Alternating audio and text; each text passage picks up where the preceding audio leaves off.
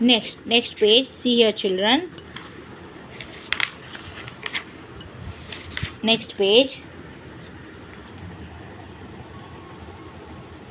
do and learn okay write the numbers of sides and corners for each shape ये जो triangle दिया है square दिया है और रेक्टेंगल दिया है, वापस स्क्वायर दिया है। इसका आपको साइड्स लिखना है, कितना है? और कॉर्नर्स लिखना है ओके यहाँ हम लोग लिखते हैं डैश साइड्स कितना साइड्स है? One two three how many sides are here three sides and one two three three corners right here three corners next square में हम लोग देखते हैं।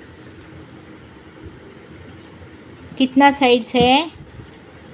One two three and four sides and four corners one two three and four see here right here four sides and four corners next rectangle rectangle में कितना sides है?